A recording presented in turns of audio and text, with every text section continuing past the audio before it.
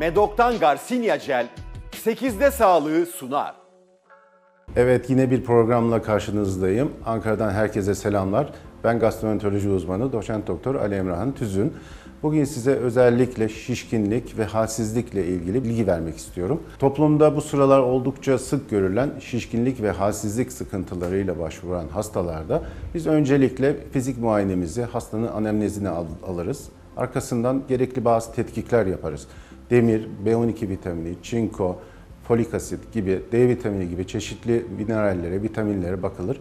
Ayrıca karaciğer böbrek testlerinde halsizliğe neden olabilecek sıkıntılar varsa bunlar değerlendirilmektedir. Bu değerlendirmeler sonucunda hastada eğer ki demir eksikliği anemisi tespit edersek mide bağırsak sisteminden bir kanama, gizli kanama var mı? Bunun mutlaka endoskopi ya da kolonoskopi ile değerlendirilmesi gerekir. Şişkinlik nedenleri genellikle mide bağırsak sisteminde hazımsızlığa yol açan çeşitli bakteri aşırı çoğalması, herhangi bir yerde tıkanıklığa bağlı e, şişkinlik nedenleri olabilir.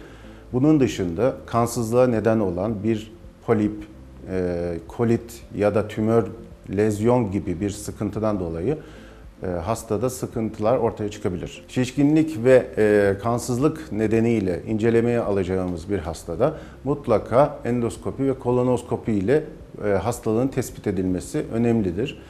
Bunun için gerekli hazırlıklar yapıldıktan sonra uygun sedasyon altında önce endoskopi daha sonra kolonoskopi yapılır. Bu yöntemle e, mide bağırsak sisteminde e, tespit ettiğimiz iyi ya da kötü huylu lezyonlar bazıları endoskopik olarak tedavi edilecek ve bazıları da gerekli biyopsiler alındıktan sonra ileri merkeze yönlendirilecektir. Şişkinliğin altında önemli bir sıkıntı yatabilir.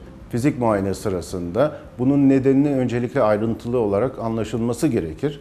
Buna ultrason e, yardımıyla da e, hastanın teşhisinin konulması eklenebilir. Burada şişkinliğin nedeni gaz, sıvı ya da katı sıkışmaları olabilir. Mide bağırsak sisteminde ya da karın içerisinde bir organın büyümesi ya da bir tümörel kitle bu şişkinliğin nedeni olabilir. Şişkinlik bu, bu nedenle özellikle son zamanlarda giderek arttıysa, beraberinde bir ağrı, halsizlik, e, iştahsızlık da eklendiyse, kilo kaybı da varsa kesinlikle endoskopi, kolonoskopi, tomografi gibi yöntemlerle değerlendirilmesi ve aksi ispat edilene kadar mutlaka e, kanser araştırmasına devam edilmesi gerekir. Mide bağırsak sistemindeki e, çeşitli hastalıkların, poliplerin tedavisinde endoskopi ve kolonoskopiyi çok yaygın olarak kullanmaktayız.